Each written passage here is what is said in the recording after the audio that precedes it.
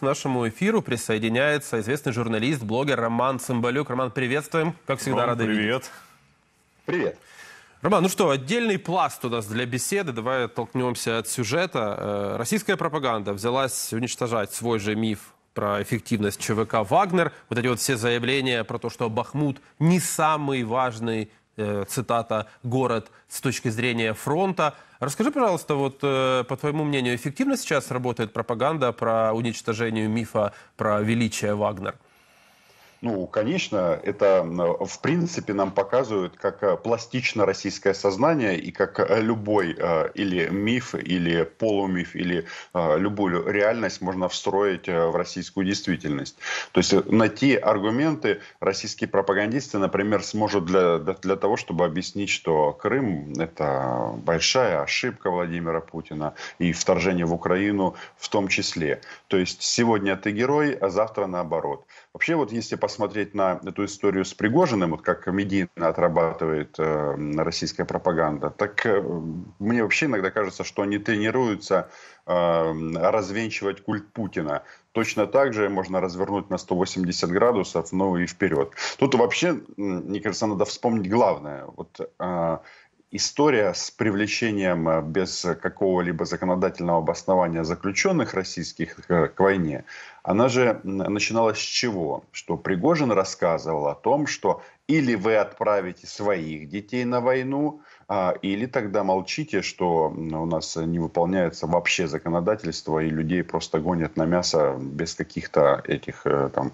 ограничений. Так вот, э, теперь э, надо прямо сказать, что очередь не заключенных, а простых российских граждан и количество видео, которые сейчас публикуются с женами, там, матерями, они все плачут, они говорят, что их отправили а, под артиллерийские удары и так далее. Этого ста- стан- становится все, все больше и больше. Так что в этом плане пропаганда, она э, уникальна, потому что у нее нету, э, нету альтернативы. И она работает вот в ключе, что помним только максимум три дня. И, соответственно, э, конструируем эту новую реальность. Главное, чтобы вот эти вот импульсы были, э, ну, как говорится, нон-стоп. Ром, скажи, пожалуйста, а как ты для себя, например, объясняешь эту гибкость сознания российских граждан? Ну, то есть у людей с критическим мышлением э, начинается нервный тик, когда они слышат э, заявления пропаганды очередные, которые, ну, буквально полностью уничтожают предыдущие заявления пропаганды. То есть э, картинка, которая рисовалась несколько дней назад, неделю назад, э, сейчас полностью перерисовывается, не соответствует действительности. Она раньше не соответствовала действительности, а теперь то, что не соответствовало действительности, то есть искаженная реальность еще более искажается. Ну, то есть бред, полный балаган. А people хавает в России. Почему?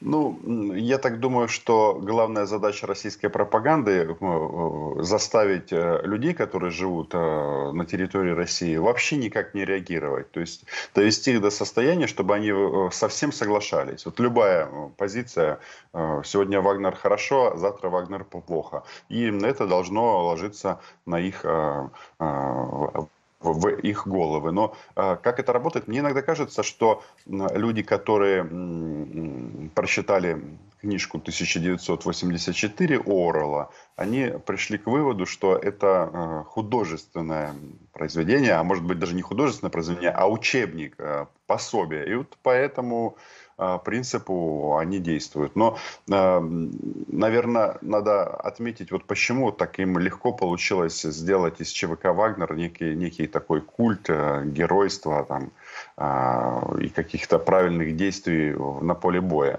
Хотя правильное действие заключается в том, что просто э, расстреливали российских граждан без суда и следствия, которые не шли в атаку. Э, Тоже очень просто, что э, получается вот в этом информационном потоке, который э, транслируется российской пропагандой, вот чтобы э, эм, это не было, но если оно чуть-чуть отличается от официальной версии, оно сразу становится каким-то особым, интересным и так далее. То есть, э, да, и получается раскрутить можно любого и, э, и любую в данном случае, потому что э, есть Путин и есть какая-то альтернатива. Я не знаю, даже если она ужасная, но в связи с тем, что есть э, не так много опций, м, фанатеть от чего, то автоматически это набирает популярность. И даже после того, как ЧВК «Вагнер» А, принято решение расформировать, у них э, до сих пор 30% а, населения позитивно к этому относится, к этой организации. Хотя еще раз, если вот так вот вдуматься, то она а, не предусмотрена российским законодательством, то есть это незаконное воинское формирование. И действия, которые они осуществляют и на поле боя, и по отношению к своим бойцам, и к коллегам в кавычках из Минобороны, говорят о том, что это просто ОПГ. Ведь как-то тоже странно. А, пели песни им разные, а потом выяснилось, что они российским солдатам простреливают колени для того, чтобы забрать зарплату, которую им выделил Путин. Вы знаете, вот, мне кажется, мы должны вспомнить такой вот был документальный фильм «Безумная, безумная пропаганда» на Первом российском канале, и он назывался так «Уроки музыки для Украины» что вот, мол, Вагнер, музыканты, там, как они, даже сами, сами вот эти вот определения, музыканты, некий культ, некая какая-то слава и так далее. Ну, во-первых, нужно им напомнить, что э, Вагнер все-таки был любимым композитором Гитлера. Ну, так, как-то почему-то именно э, его выбрала э, российская пропаганда. А Самое главное, что этот урок э, музыки, он э, преподнесен на самом-то деле не Украине, а России. Вот, Кровавый урок музыки. Это правда. Ром, скажи, пожалуйста, но вот по твоему мнению, с Вагнером, с террористами пригожинскими все? Все закончено? Просто так менялось э, отношение российских граждан или российской пропаганды к этой организации, о чем ты уже неоднократно говорил, что совсем непонятно, все с ними или они продолжат свое существование. Понимаешь, ну, э, от э, героев России, не, не так, от героев России к незаконному формированию, да, это заявление Шойгу когда-то было, потом э, предатели, значит, и попытка государственного переворота, а теперь просто пустое место. Ну, следующий шаг может быть все что угодно, от э, убийства Пригожина до возвращения Вагнера в ряды героев Российской Федерации. Ну, возможно, люди, которые принимают участие в этом ОПГ, они как раз и будут и дальше использоваться режимом. Произойдет какой-то ребрендинг, возможно, ее разделят на несколько частей, а кого-то, из кого-то сформируют какие-то спецподразделения, но, тем не менее, командиры будут э, э, из Министерства обороны. Самое главное, они будут давать им вот этой вот э, политической медийности, потому что Пригожин, он же своими заявлениями, он что делал? Он вел политическую деятельность деятельность.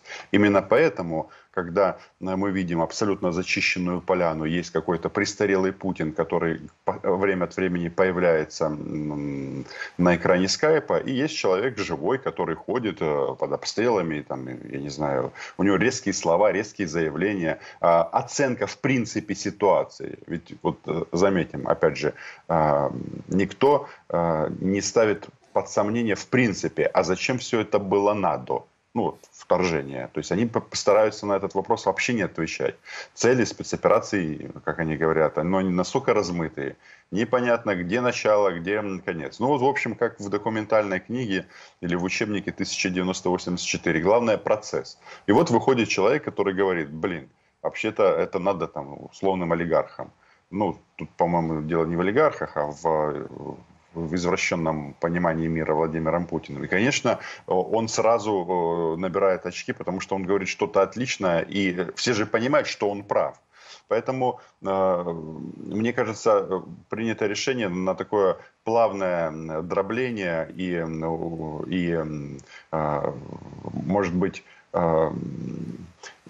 Дело не в том, чтобы уничтожить именно ЧВК, как это подразделение. Главное уничтожить миф а, и, соответственно, поставить этих людей под контроль. Вот этим они, наверное, и занимаются. Часть могут отправить в Африку, часть э, в Белоруссию, часть, соответственно, а, перейдут в воинские формирования. Ну а по поводу Пригожина, судя по всему, там есть какие-то договоренности. Он же все-таки человек, э, который э, диктует часть э, мнения части российской элиты и, и он вполне может это все пережить. Ну да. Посмотрим. Посмотрим, время покажет. Да. Ром, спасибо большое. Роман Цымбалюк, известный журналист и популярный блогер, был с нами на прямой связи. Спасибо. Оперативные новости, эксклюзивные видео с линии фронта. Глубокие аналитические обзоры и только самые авторитетные спикеры. Подписывайтесь на YouTube канал Freedom, чтобы не пропускать главного.